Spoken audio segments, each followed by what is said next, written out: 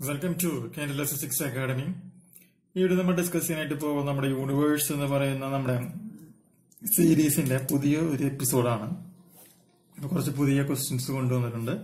Questions ഒന്ന് പരിചയപ്പെടാം. First question നോക്കുക dragon storm great white spot എന്നീ കൊടുങ്കാറ്റു മേഖലകളുള്ള ഗ്രഹം ഏതാണ്? Dragon storm great white spot എന്നീ കൊടുങ്കാറ്റു മേഖലകളുള്ള ഗ്രഹം ഏതാണ്? ഉത്തരം പഠിച്ചു വെക്കുക ശനി. ഓക്കെ അപ്പൊ dragon stone great white spot എന്നീ കൊടുങ്കാറ്റ് മേഖലകളുള്ള ഗ്രഹം ഏതാണ്? ആൻസർ അപ്പൊ എന്താണ്? ശനി. രണ്ടാമത്തെ ക്വസ്റ്റ്യൻ നോക്കുക. നീലഗ്രഹം എന്നറിയപ്പെടുന്നത് എന്താണ്? നീലഗ്രഹം എന്നറിയപ്പെടുന്നത് എന്താണ്? ഉത്തരം പഠിച്ചു വയ്ക്കുക ഭൂമി. ഓക്കെ നീലഗ്രഹം എന്നറിയപ്പെടുന്നത് ഭൂമി. മൂന്നാമത്തെ ക്വസ്റ്റ്യൻ നോക്കുക. സൗരയൂഥത്തിന്റെ കേന്ദ്രം സൂര്യനാണെന്ന സിദ്ധാന്തം ശാസ്ത്രീയമായി അവതരിപ്പിച്ചത് ആരാണ്? സൗരയൂഥത്തിന്റെ കേന്ദ്രം സൂര്യനാണെന്ന് ആണെന്ന സിദ്ധാന്തം ശാസ്ത്രീയമായി അവതരിപ്പിച്ചത് ആരാണ്? ഉത്തരം പഠിച്ചു വയ്ക്കുക കോപ്പർ നിക്കസ്. നാലാമത്തെ ക്വസ്റ്റ്യൻ നോക്കാം. ചൊവ്വയ്ക്ക് ചുവപ്പ് നിറം നൽകുന്നത് എന്താണ്? ചൊവ്വയ്ക്ക് ചുവപ്പ് നിറം നൽകുന്നത് എന്താണ്? ഉത്തരം പഠിച്ചു വെക്കുക. ഇരുമ്പ് ഓക്സൈഡിന്റെ സാന്നിധ്യം. ഇരുമ്പ് ഓക്സൈഡിന്റെ സാന്നിധ്യം. ഒപ്പം തന്നെ ഒരു ക്വസ്റ്റിനോട് ഓർത്തിരിക്കുക. ചൊവ്വയിൽ ഗർത്തങ്ങൾ നാമകരണം ചെയ്യപ്പെട്ടിരിക്കുന്നത് എങ്ങനെ? ചൊവ്വയിൽ ഗർത്തങ്ങൾ നാമകരണം ചെയ്യപ്പെട്ടിരിക്കുന്നത് എങ്ങനെ? ഉത്തരം പഠിച്ചു വയ്ക്കുക. പ്രശസ്ത ശാസ്ത്രജ്ഞരുടെയും ശാസ്ത്ര ഗ്രന്ഥകർത്താക്കളുടെയും പേരിൽ ചൊവ്വയിൽ ഗർത്തങ്ങൾ നാമകരണം ചെയ്യപ്പെട്ടിരിക്കുന്നത്.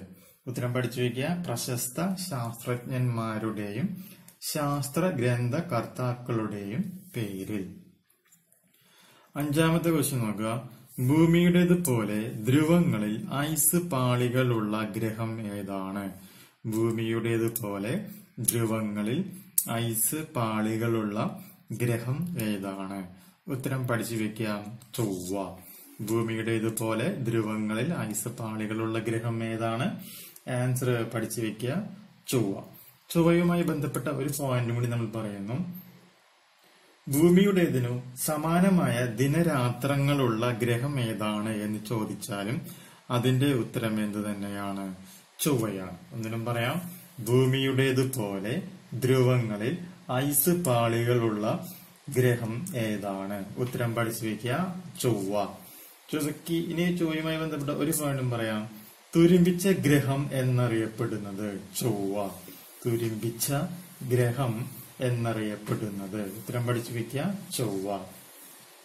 ചൊവ്വയുമായി ബന്ധപ്പെട്ട ഒരു പോയിന്റ് ഓർത്തിരിക്കുക. റോമാക്കാരുടെ യുദ്ധദേവന്റെ പേര് നൽകിയിരിക്കുന്നത് ഏത് ഗ്രഹത്തിനാണ്? ഉത്തരം ഓർക്കുക. ചൊവ്വ. റോമാക്കാരുടെ യുദ്ധദേവന്റെ പേര് നൽകിയിരിക്കുന്നത് ഏത് ഗ്രഹത്തിനാണ്? ഉത്തരം ഓർക്കുക. ചൊവ്വ. ഓക്കെ.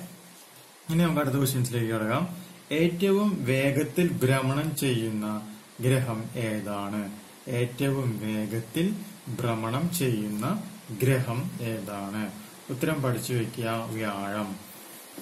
ഏറ്റവും വേഗത്തിൽ ഭ്രമണം ചെയ്യുന്ന ഗ്രഹം ഏതാണ് അപ്പോൾ? വ്യാഴം.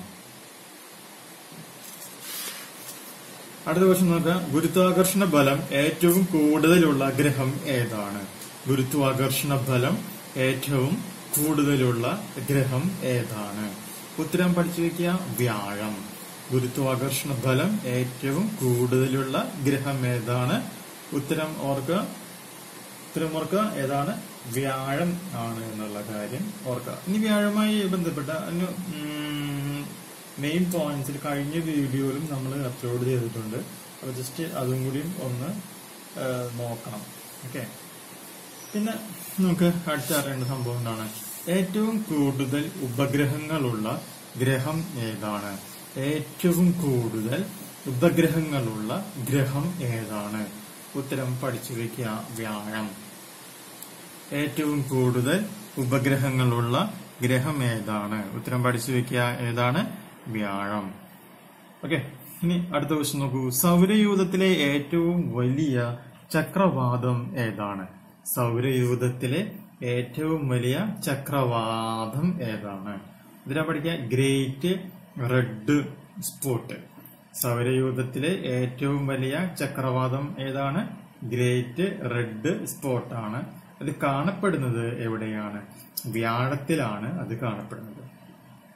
അപ്പൊ സൗരയൂഥത്തിലെ ഏറ്റവും വലിയ ചക്രവാതം എവിടെയാണ്? Great red spot. കാണപ്പെടുന്നത് എവിടെയാണ്? വ്യാഴത്തിലാണ്. പത്താമത്തെ ക്വസ്റ്റ്യൻ നോക്കുക. ഏറ്റവും ആകർഷകമായ വലയങ്ങളുള്ള ഗ്രഹം ഏതാണ്? ഏറ്റവും ആകർഷകമായ വലയങ്ങളുള്ള ഗ്രഹം ഏതാണ്? ഉത്തരം പഠിച്ചു വയ്ക്കുക. ശനി. അപ്പൊ ഏറ്റവും ആകർഷകമായ വലയങ്ങളുള്ള ഗ്രഹം ഏതാണ്? ശനി. പതിനൊന്ന് നോക്കുക. സൗരയൂഥത്തിലെ ഏറ്റവും വലിയ രണ്ടാമത്തെ ഉപഗ്രഹം ഏതാണ്? സൗരയൂഥത്തിലെ ഏറ്റവും വലിയ രണ്ടാമത്തെ ഉപഗ്രഹം. ഉത്തരം പഠിച്ചു വെക്കുക. ടൈറ്റാൻ ശനി. സൗരയൂഥത്തിലെ ഏറ്റവും വലിയ രണ്ടാമത്തെ ഉപഗ്രഹം ടൈറ്റാൻ ശനി. അപ്പൊ ടൈറ്റാൻ കാണപ്പെടുന്നത് എവിടെയാണ്? അങ്ങനെയും ഒരു ക്വസ്റ്റ്യൻ ചോദിക്കാം. അങ്ങനെ ചോദിച്ചു കഴിഞ്ഞാൽ അതിന്റെ ആൻസർ അപ്പൊ എന്താണ്? വരെ ശനിയാണ് പന്ത്രണ്ട് നോക്കുക ടെലസ്കോപ്പിന്റെ സഹായത്തോടെ കണ്ടുപിടിക്കപ്പെട്ട ആദ്യത്തെ ഗ്രഹം ഏതാണ്? ടെലസ്കോപ്പിന്റെ സഹായത്തോടെ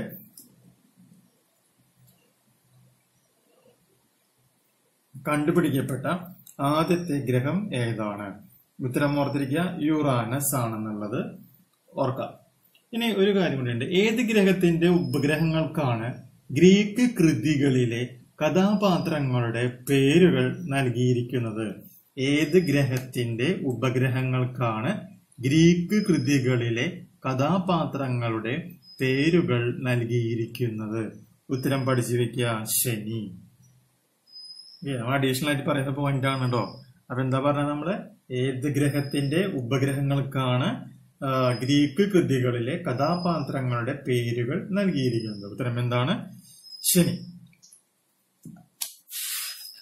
ഇനി പതിമൂന്നാമത്തെ ക്വസ്റ്റ്യൻ നോക്കുക. ചൊവ്വയ്ക്ക് എത്ര ഉപഗ്രഹങ്ങൾ ഉണ്ട്? ചൊവ്വയ്ക്ക് എത്ര ഉപഗ്രഹങ്ങൾ ഉണ്ട്. പഠിച്ചു വെക്കുക രണ്ട്. ചൊവ്വയ്ക്ക് എത്ര ഉപഗ്രഹങ്ങളുണ്ട്? രണ്ട്. പതിനാലാമത്തെ ക്വസ്റ്റ്യൻ നോക്കുക. ചുവന്ന ഗ്രഹം എന്നറിയപ്പെടുന്നത് എന്താണ്? ചൊവ്വ. ചുവന്ന ഗ്രഹം എന്നറിയപ്പെടുന്നത് എന്താണ്? ചൊവ്വ. പതിനഞ്ച് നോക്കുക. ഏറ്റവും വലിയ ഗ്രഹം ഏതാണ്? ആൻസർ ഓർത്തിരിക്കുക. വ്യാഴം.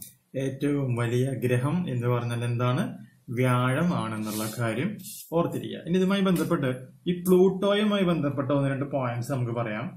പ്രധാനപ്പെട്ട പോയിന്റ് ഇതാണ്. ആയിരത്തി തൊള്ളായിരത്തി മുപ്പത് മുതൽ രണ്ടായിരത്തി ആറ് വരെ ഒമ്പതാമത്തെ ഗ്രഹം എന്ന പദവി ആർക്കുണ്ട് ആർക്കായിരുന്നു? പ്ലൂട്ടോയ്ക്കായിരുന്നു. ഒന്നിനും പറയാം. ആയിരത്തി തൊള്ളായിരത്തി മുപ്പത് മുതൽ രണ്ടായിരത്തി ആറ് വരെ ഒമ്പതാമത്തെ ഗ്രഹം എന്ന പദവി ഉണ്ടായിരുന്നത് പ്ലൂട്ടോയ്ക്കായിരുന്നു. അന്താരാഷ്ട്ര ആസ്ട്രോണമിക്കൽ യൂണിറ്റ് ഒൻപതാം ഗ്രഹം എന്ന പദവി ഔദ്യോഗികമായി നൽകിയത് ആയിരത്തി തൊള്ളായിരത്തി തൊണ്ണൂറ്റി ഒമ്പത് ഫെബ്രുവരിയിലായിരുന്നു. അന്താരാഷ്ട്ര ആസ്ട്രോണമിക്കൽ യൂണി യൂണിയൻ ഒൻപതാം ഗ്രഹം എന്ന പദവി ഔദ്യോഗികമായി നൽകിയത് ആയിരത്തി തൊള്ളായിരത്തി തൊണ്ണൂറ്റി ഒമ്പത് ഫെബ്രുവരിയിലായിരുന്നു.